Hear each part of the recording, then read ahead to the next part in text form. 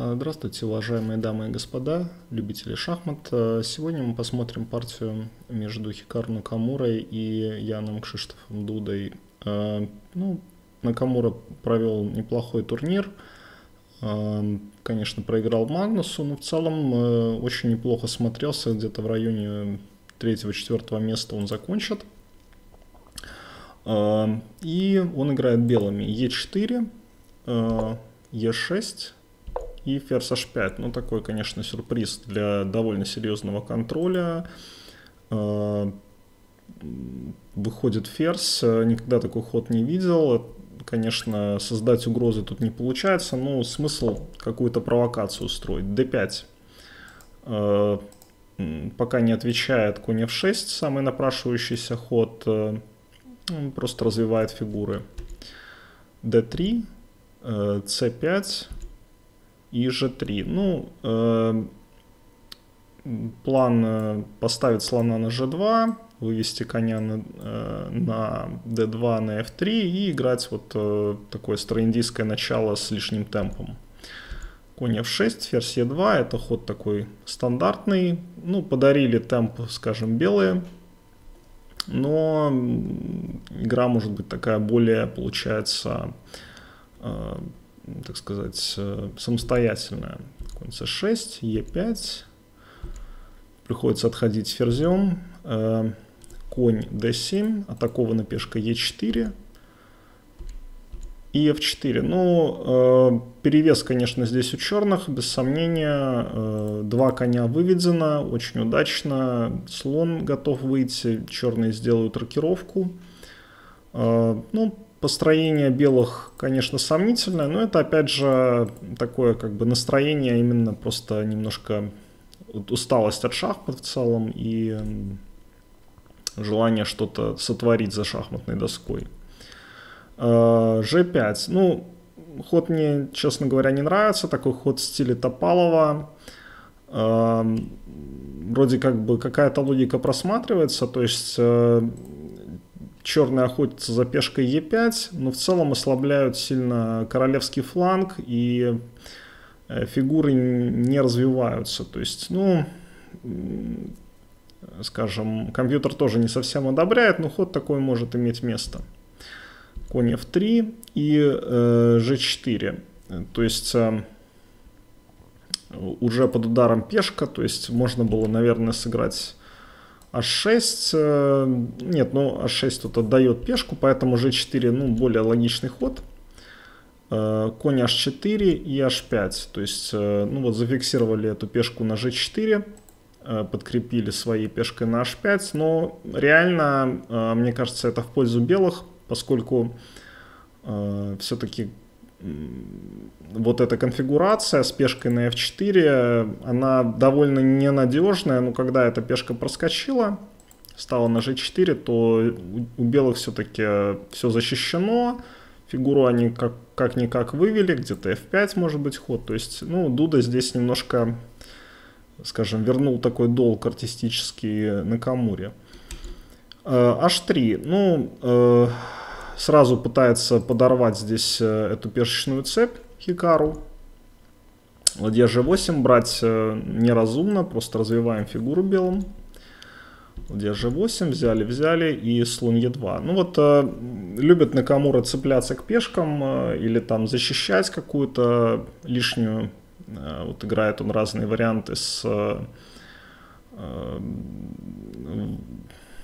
вариантах там d5, забирает на c4, пытается эту пешку сохранить, то есть получается такая очень э, сложная запутанная игра. И здесь он пытается эту пешку от, отожрать. f5. Э, э, ну, лучший ход, по мнению компьютера, довольно странный, но что делать? Приходится так играть, пешка на g4 висит, по-другому ее никак не защитить.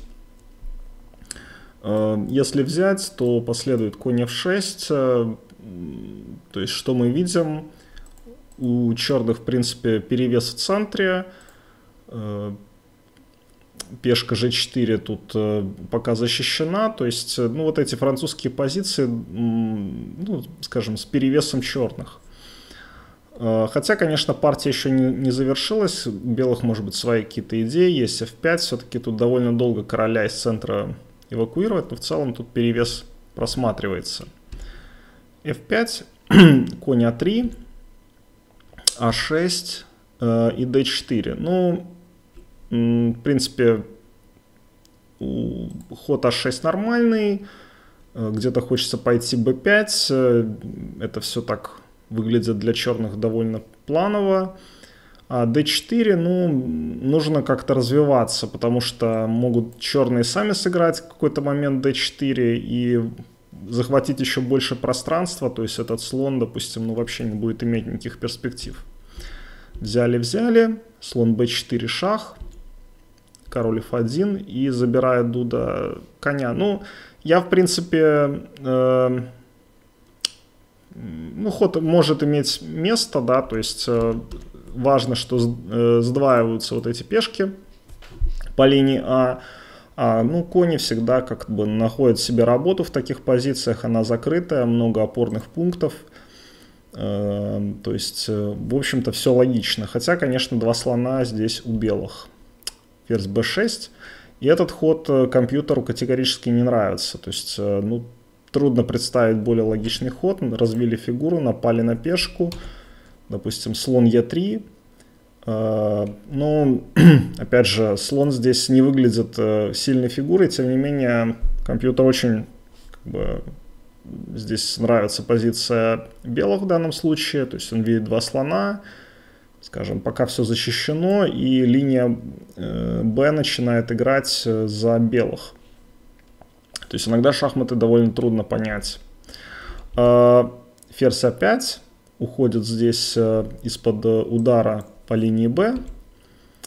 Ферзь b3 пока защитили пешку и конь b6. Ну, в принципе, такая довольно стандартная проблема для вот черных, да, то есть Э, не хватает места, да, то есть конь стоит на d7 неплохо, но что делать со слоном, да, то есть приходится выводить фигуру, которая будет затем попадать под э, различные удары. Э, король f2, конь c4 жертвует пешку здесь Дуда, то есть он понимает, что как бы отдав пешку, он разменяет вот этого сильного слона, а чернопольного еще придется белым вводить в игру. Последовал размен. И э, ферзь а3. Ну, этот ход э, довольно быстро был сделан, то есть у Дуды здесь было много времени, мог он тут подумать подольше.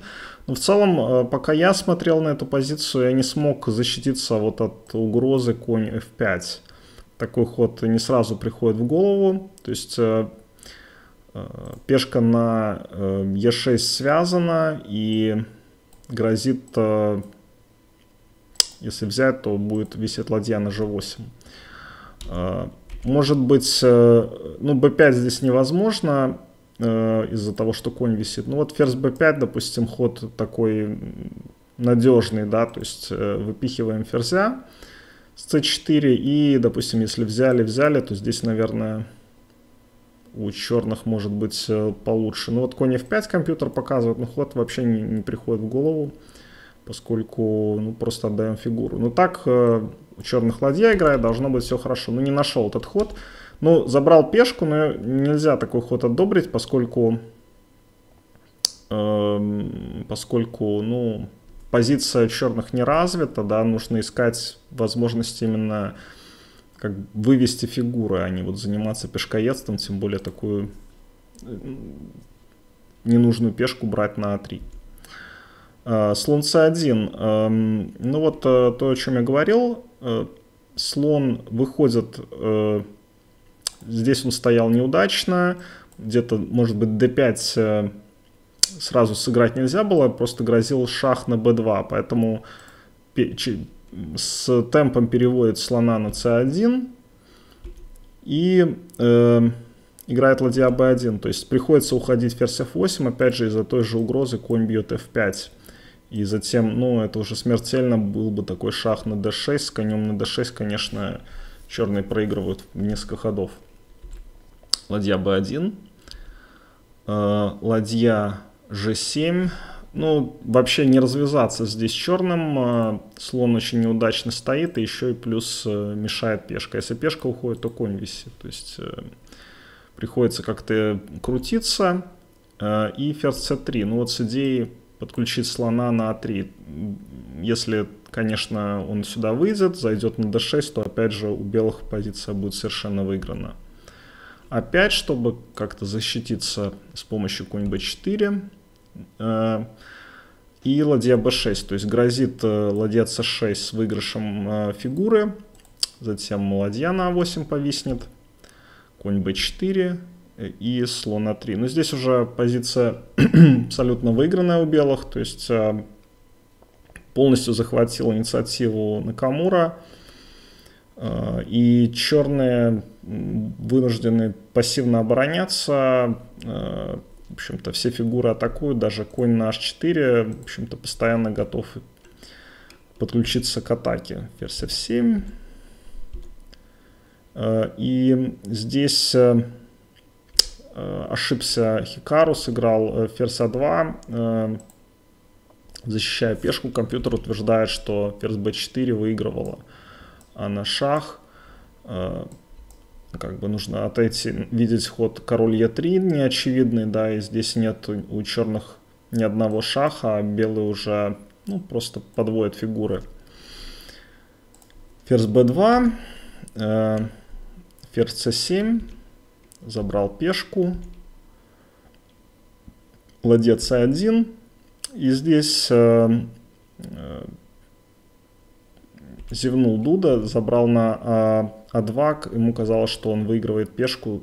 Ходом ферзь c1, забирает, и как-то король выходит. Но выясняется, что после ферзь c1 грозит ладья c4, и, и через пару ходов черный получит мат, и они теряют фигуру. Ну вот такая не, не совсем однозначная партия. Здесь удалось на Камуре, э, имея плохую позицию, э, скажем, соперник э, делал логичные ходы, но они оказались неточными, забрал пешку и затем попал под э, инициативу белых. Э, спасибо вам за внимание и до новых встреч.